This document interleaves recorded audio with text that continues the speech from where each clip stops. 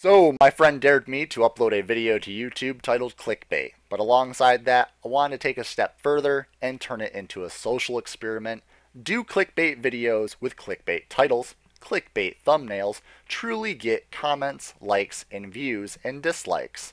So, if you're still watching this video, please leave a comment down below, like the video or dislike it, and since you've already viewed it, please share it with all of your friends out there so they can view it as well. Will this video truly get 1 million views? Not too sure, but that's the goal. Thank you all for being a part of this social experiment, and we'll see you all in the next video.